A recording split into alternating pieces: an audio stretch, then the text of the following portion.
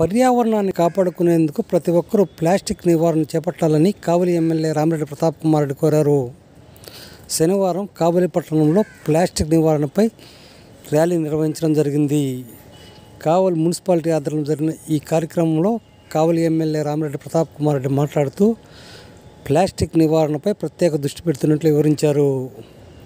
December ఒకటి నుంచి కఠినంగా నిబంధనలు అమలు చేయనున్నట్లు వివరించారు. ఈ ర్యాలీలో Kavali RDO Sena Nayak Kavali municipal commissioner Sivareddy YCP నాయకులు కార్యకర్తలు సచివాలయ ఉద్యోగులు వాలంటీర్లు స్వచ్ఛంద సంస్థల ప్రతినిధులు పాల్గొన్నారు.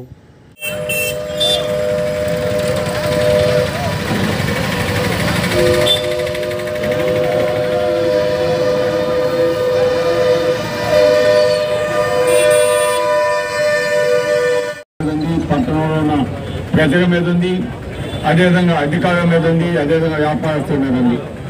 ఈరోజు ఈ కార్యక్రమం ఎవరి కోసమో కాదు మనం మన పరిసర ప్రాంతాన్ని పొల్యూషన్ నుంచి కాపాడుకునేదానికి అదేవిధంగా ఆరోగ్యం బాగా ఉండేదానికి ఈరోజు మనం ఈ కార్యక్రమం చేస్తాము.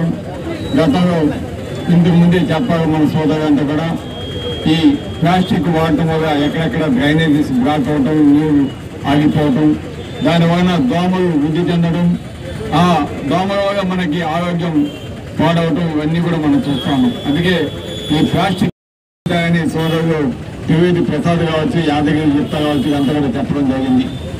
సో వ్యాపారస్తులు ఎప్పుడైతే సహకరిస్తారో అప్పుడే మనం దీన్ని సాధించగలమనేది కూడా మా అభిమతం.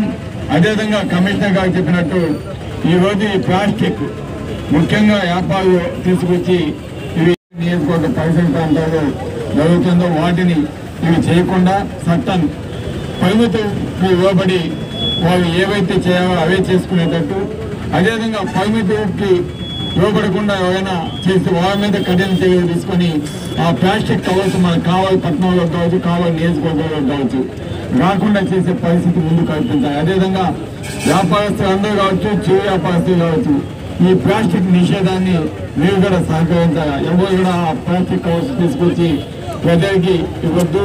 మీ మీరు ఆ వస్తువులు పెట్టి వాటికి వాటికి పెట్టి ఇవ్వాల్సిన అవసరం లేదు. మీరైతే పేపర్ కవర్స్ కావచ్చు లేదా గుండె సంచులు మీరు తప్పకుండా వాడాలి. అప్పుడే మనకు కావాలి పరిశుభ్రంగా ఉంటుంది. అదేవిధంగా ఈరోజు కమిషనర్ గారు అధికారులు రెవెన్యూ అధికారులు స్పెషల్ ఆఫీసర్ గారు అంతా కూడా చాలా తీసుకున్నారు శానిటేషన్ ఇవన్నీ కూడా చాలా చక్కగా చేస్తున్నారు ఇంకా బాగా చేయాలి. ఇంకా కొన్ని ప్రాంతాలు కొన్ని వార్డుల్లో శానిటేషన్ కూడా ఇంకొంచెం మెరుగుపరిచి ప్రజలకి ఎటువంటి ఇబ్బంది లేకుండా చేయాలనే బాధ్యత తప్పకుండా తీసుకోవాలి. అప్పుడే మనం ప్రజల యొక్క ఆరోగ్యాన్ని కాపాడుతామని కూడా తెలియజేస్తున్నాం. కాబట్టి మనం అందరం కూడా ఈరోజు ప్లాస్టిక్ నిషేధానికి మన సంపూర్ణ మద్దతు తెలియజేయాలి. వ్యాపారస్తులు ముఖ్యంగా ఈ ఒకటో తారీఖు దాకా ఏదైనా చేసిన తర్వాత ఒకటే తాగిన తర్వాత మన సోదరుడు యాదగిరి గుర్తు కావచ్చు కమిషనర్ మన ఆర్డీఓగా చెప్పినట్టు ఒకటో తారీఖు తర్వాత కానీ కవర్స్ కానీ వ్యాపారస్తులు కానీ యూజ్ చేస్తే పెనాల్టీ ఉంటాయి. కాబట్టి మీరు ఎవ్వరు కూడా వాటికి యూజ్ చేయకుండా వాటిని యూజ్ చేయకుండా నిషేధించండి. ఏదంటే అనవసరంగా పెనాల్టీ అదేవిధంగా ప్రజలు కూడా కొంచెం చైతన్యం రావాలి. ప్రజలు కూడా వచ్చేటప్పుడు ఒక గుడ్డ సంచం లేదా పేపర్ సంచి తెచ్చుకుంటే మీ సామాన్ తీసుకునేదానికి అవకాశం ఉంటుంది. అదేవిధంగా మీరు ప్లాస్టిక్ కవర్ కొనాల్సిన పరిస్థితి కూడా ఉండదు.